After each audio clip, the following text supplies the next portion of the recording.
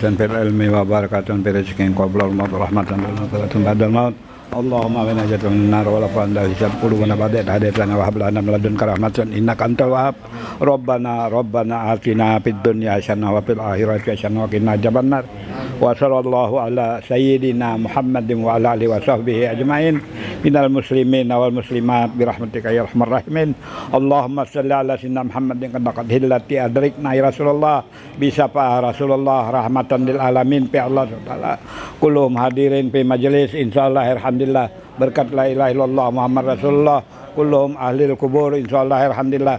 Wa ahli jannah berkat la ilaha illallah Muhammad Rasulullah. Rabbi yashir wa la tu'ashir Rabbi tamim wa kammil bil khair. Hasbunallah wa ni'mal wakil. Ya Allah ya Karim ya Allah ya Rahman ya Allah ya Rahim. Mustajib doa ya Allah berkat ya Allah berkat ya Rasulullah.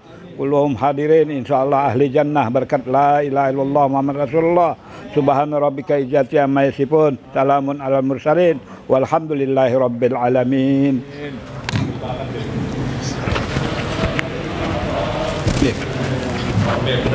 那边，那。بسم الله الرحمن الرحيم. الحمد لله رب العالمين. اللهم صل وسلم على سيدنا محمد وعلى آل سيدنا محمد. وسلم رضي الله عن كل صحابة رسول الله أجمعين. اللهم نستغفرك ونستودعك أدياننا وأنفسنا وأهلنا وأولادنا وأموالنا. كل شيء أعطيتنا. اللهم اجعلنا في كنافك واعمانك وجوارك وايادك من كل شيطان مارد وجبار عنيد وذي عين وذي بك ومن شر كل شر. إنك على كل مخلص قدير. اللهم جملنا بالعافية والسلامة وحققنا بالتقوى والاستقامة وإذنا من مجيبات الندامة في الهال والمال. إنك سميع الدعاء. اللهم اغفر لنا ولوالدينا ولأولادنا ولمشايخنا ولإخواننا في الدين والدنيا الآخرة. اللهم صل وسلم على سيدنا محمد وعلى آل سيدنا محمد. اللهم إنا نسألك سلامة في الدين وعافية بالجسد وزيادة في العلم وبركة في الرزق وتوبة قبل الموت ورحمة عند الموت ومغفرة بعد الموت. هون علينا في شقرة الموت والنجاة من النار والعفو عند الحساب. ربنا افرغ علينا صبرا وثبت أعداءنا فانصرنا على القوم الكافرين. ربنا تزغ قلوبنا بعد إذ هديتنا وهب لنا من لدنك رحمة إنك أنت الوهاب. رب اغفر لي والوالدي رب اغفر لي والوالدي رب اغفر لي والوالدي رب اغفر لي والوالدي ارحمها كما ربياني صغيرا ربنا آتنا في الدنيا حسنة وفي الآخرة حسنة وقنا عذاب النار صلى الله على سيدنا محمد وآله وصحبه وسلم سبحان ربك رب العزة عما يصفون وسلام على المرسلين الحمد لله رب العالمين Bismillahirrahmanirrahim Bismillahil malikil kudusis salam Bismillahil adidil hakim Wassalatu wassalam ala sayyidina wa nabiyyina Muhammad wa ala alihi wa sahbihi ajmain. Wassalatu wassalam khususan li ahli baiti Rasulillahi sallallahu alaihi wasallam wa jamil muslimina wal muslimat. Paina insyaallah asuli kitab Syekh Abd Syekh Ibnu Atailah As-Sakandari Al-Hikam. Wa nafa'ana bihi wa ulumihi bidarain amin. Ya rabbal alamin. Mudah-mudahan baik melewati saluran Syekh Abdul Qadir Jailani maupun Syekh Ibnu Atailah mudah-mudahan bertambah berkah rahmat dan kasih sayang Allah subhanahu subhanallah subhanallahi wa ta'ala. Wa ma'apiha lil habaib hadirah fi majlisina insyaallah mubarakan lana insyaallah fid dunya wal akhirah. Mudah-mudahan juga melewati saluran berkah datangnya dan hadirnya para habaib di majelis kita bertambah berkah dan nikmat bagi kita dunia dan akhirat serta para guru-guru kita di sini yang hadir pada malam ini. Amin amin ya rabbal alamin.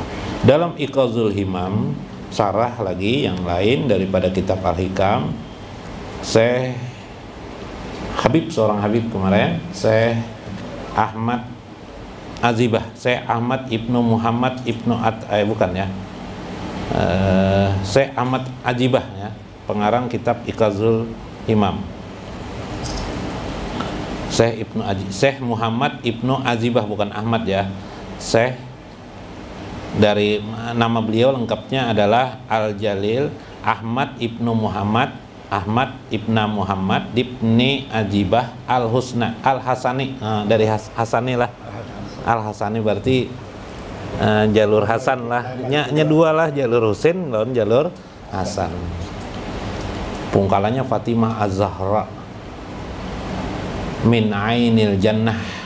Eh, anakku Fatimah itu dari air surga kata Rasulullah. Subhanallah.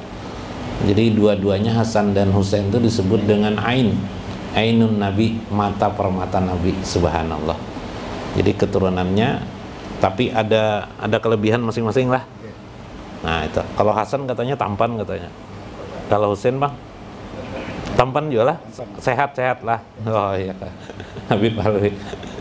Begayan Bib lah Nah, di dalam Al-Quran surah Baqarah ayat 10 wan naklu basiqat. Kurma-kurma itu menjunjung tinggi berjulang tinggi. Tumbuh dia kurma pohon kurma. Aitawilat dia panjang wal bajru zariyah. Tum- dari benih tergantung benih kurma yang baik. Ya kan? Waqala pitanwir kata Syekh Muhammad Azibah. Wakun ayyuhal abdu Ibrahiman. Sesungguhnya seharusnya kita ini kata pengarang kitab Tanwir kata Syekh Muhammad Azibah seperti Nabi Ibrahim alaihi salam. Nah ini supaya menghilangkan sifat tamak tadi lah. Faqad qala abuka Ibrahim salatullah wasalam alaihi la uhibbul afalin. Nabiullah Ibrahim itu pernah berkata sebagaimana yang dilukiskan perkataan beliau di dalam Al-Qur'an la uhibbul apalin aku tidak mencintai sesuatu yang hilang. Nah sesuatu yang tiada. Yang sesuatu yang tidak akan pernah bisa kekal di dunia ini harta benda itu kekal lah tidak kekal. Alhaqumut takasur hatta jurtumul makobir mengumpul-ngumpulkannya banyak akhirnya juga masuk ke liang kubur. Betapa banyak orang-orang kaya harta mereka ketika mereka mati tertinggalkan. Diwarisi oleh anak-anak mereka yang tidak diketahui lagi kewarisan itu apakah menguntungkan atau tidak bagi anak-anak. Sebahagian harta itu digunakan kemaksiatan bagi anak-anak mereka. Ini juga merugi bagi orang yang meninggalkan harta. Ada sisi baik ada juga sisi buruk berkemungkinan tentang harta. Lah seharusnya harta benda itu digunakan mereka untuk memfasilitasi fisabilillah segala sesuatu di jalan Allah tapi dia melupakan itu karena dia sibuk hanya mengumpulkan harta. Sibuk menabung demi menabung. Sibuk menumpuk gram demi gram emas di kantongnya atau di simpanannya. Wa kullu ma siwallah afalun imma wujudan wa imma imkanan. Karena kata Syekh Ahmad eh, Syekh Muhammad Azibah tiap-tiap apa yang selain Allah itu afalun pasti hilang. Imma wujudan mungkin saat tertentu dia ada. Wa imma imkanan tapi saat yang lain dia bisa hi- hilang. Bukankah dia bisa hilang? Baju kita yang kita banggakan dulu bagus dan baik. Beberapa waktu kemudian oleh dimakan waktu dia juga tidak baik sekali sekarang. Tubuh kita yang tampan yang sekali lirik wanita terpaut hatinya kepada kita. Wahai orang-orang yang tampan dua atau lima tahun kemudian atau sepuluh tahun kemudian wanita mengelakkan pandangannya kepada diri anda karena anda dipandangnya sudah mulai tua. Anda pun mencari ide lain yaitu dengan kekayaan supaya perempuan tertarik kepadamu. Bukankah engkau hanya sibuk mengurusi wanita saja dalam hidup ini? Subhanallah. Ya kah ada kisah Palui nah kisah Palui lah. Berkisah Nawadir kan? Ada kisah Palui kisah Palui bingung. Bipai jalan-jalan singgah di hotel Bipai di hotel tuh bagian ke resepsionis ya bang ruang tamu. Di hotel. Habis di hotel itu duduk terus itu ada perempuan dekatinya Palu ini juga hijab padahal pakai sepeda motor nih pakai kendaraan tapi kunci diletakkan di meja tempat ruang tamu tuh kunci mobil. Jadi perempuan datang eh. Dari mana nih? Oh di kota aja aja Paloi. Paloi memikirkan kayak apa caranya uh, mendekati perempuan. Oh ya kak sudah kawin kah jar perempuan itu? Oh peremp- perempuannya ladies di anu tuh kan. Belum ya Pak oh jar nggak merokok kak pian jar jar jar jar perempuan itu. Enggak jar. Wah mantap bener nih. Sudah berapa kali haji jar? Ya setiap tahun aja Pak Loy. oh setiap tahun. Padahal musim covid mana bisa naik haji lah. Tiap tahun jar tiap tahun. Tiap tahun. Wah, kunci mobil lah berapa buah? Bisi mobil. Ya, lima buah lah aja Loy. Bu, lima buah.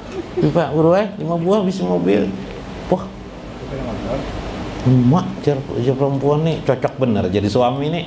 Suami idaman nih. Oh, rumah di mana jar? Yang satu buah di Bunyamin. Jar. satu buahnya di komplek apa, Guru? Nah, pon. Nah, Banjar Permai, jar wah, dua buah ya jar jar perempuan nih. Yang satunya di mana, Mas? Satu-satunya dekat sinilah. Di seberang hotel tuh, jar. Bu, seberang hotel ini, seberang hotel tuh ada ada rumah besar. Wah. Itu ke rumahnya, jar. Wah, ini cocok benar belum punya istri lah, Pian. Belum, Jepaloy. Masih bujangan. Kenapa jadi tidak punya istri? Belum ada yang cocok lagi Jepaloy. Hobi pian apa mas ya? Hobi saya Japalan berdusta Japalan. Jadi dusta semuaan Pak ini hanya untuk mengejar perempuan. Habis itu jakah kita ini hari-hari mengejar perempuan aja kah kita? Tidak. Tidak. Nabi Ibrahim alaihissalam ini sangat unik. Nah ini ketuhanan. Masuk marifatullah. Kita masuk marifatullah.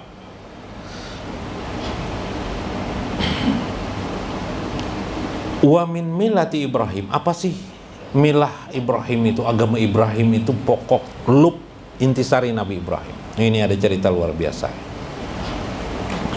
Mudahan bisa diingat terus ini. Ialah Robul himmati anil khalqi. Meninggalkan pandangan tentang makhluk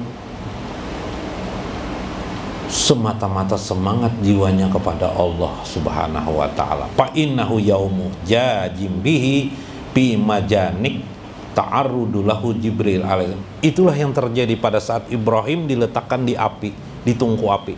Ingat Kak, tentang Namrud? Ada majanik, majanik itu di situ ditumpuk, dibakar, apinya panas kan toh? Pada saat itu Jibril alaihissalam datang kepada Nabi Ibrahim alaihissalam. Subhanallah. Alakah hajat?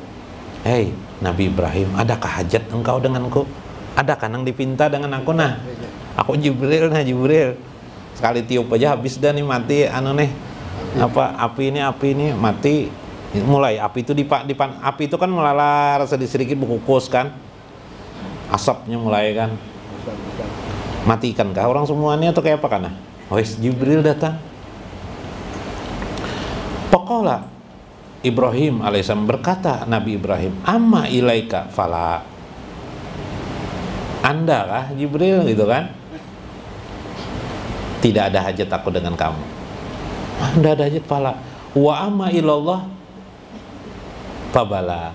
Tapi kalau Allah yang datang langsung, nah itu oke Jibril. Tapi kalau Jibril aja No, masih ya, tidak bisa Jibril, tidak bisa. Tidak ada hajat aku dengan engkau. Sekalipun engkau adalah Jib, Jibril. Kola, pas alu. Coba minta dengan Allah. Pakola, lah. Jar, jar anu, jar apa? Jar Jibril. Aku tidak berdoa kepada Allah. Pakola, eh, pakola Nabiullah Ibrahim. Hasbi min suali ilmihi bihali.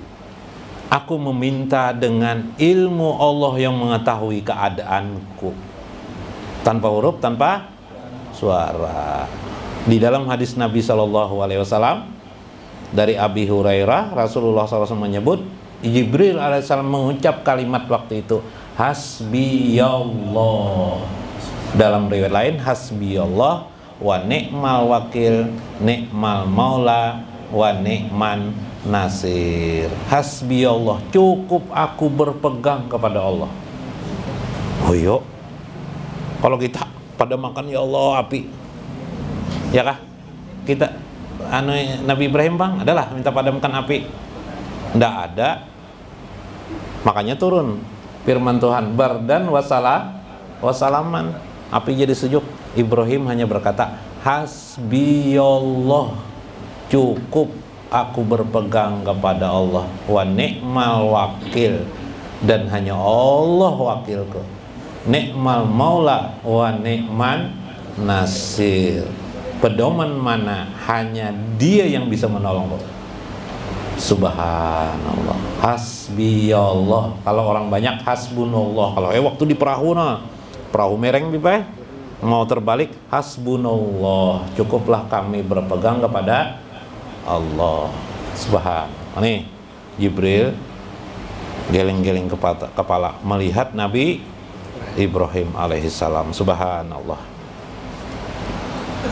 Nah sudah.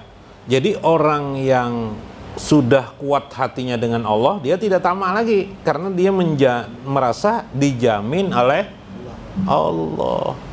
Bahkan tidak terkeluar ucapannya menuntut-nuntut kepada Allah.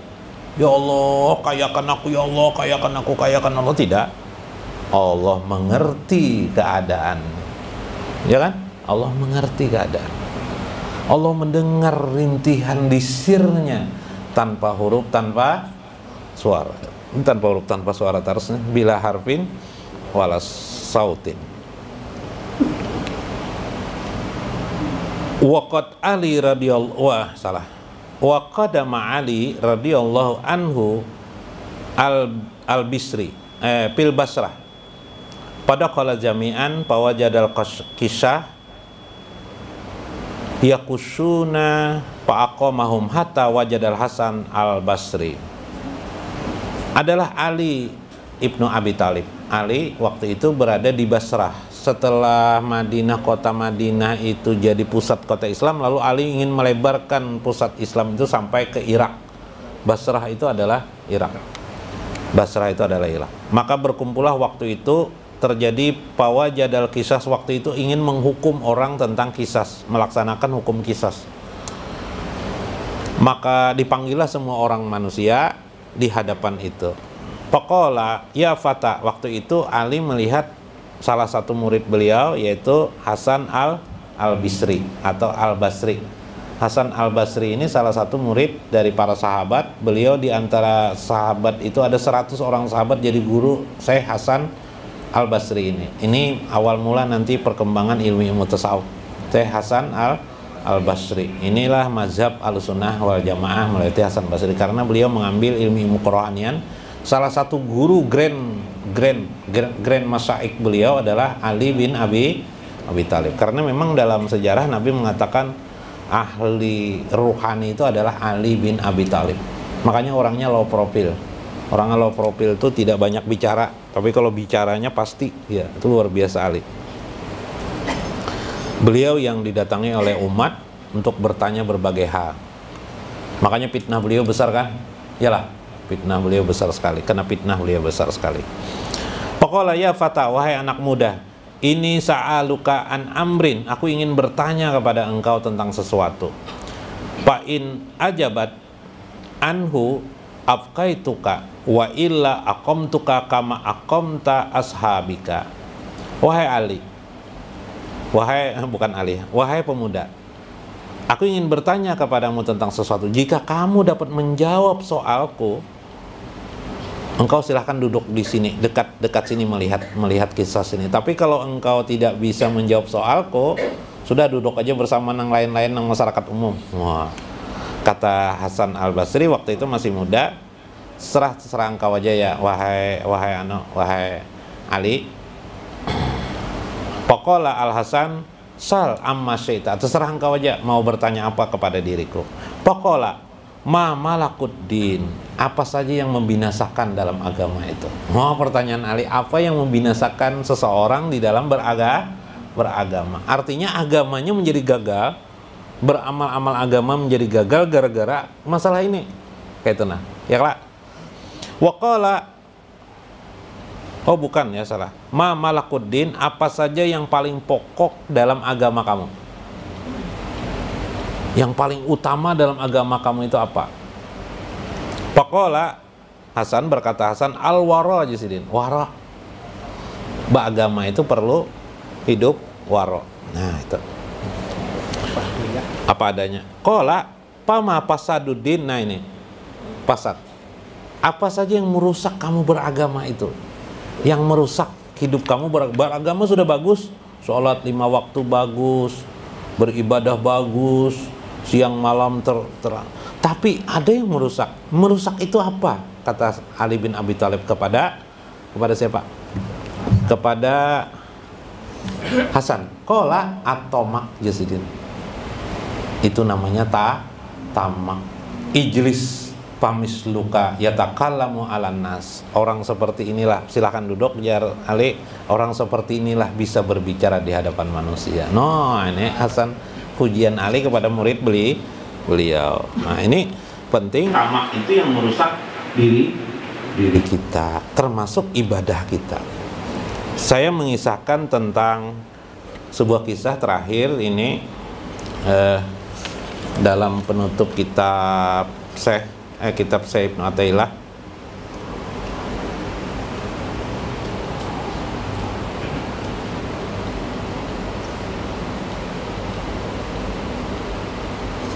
tentang kisah Abu Hanifah ya. Abu Hanifah. Kisah Abu Hanifah ini mana? Saya saya ada tadi memberikan batas kisah Abu Hanifah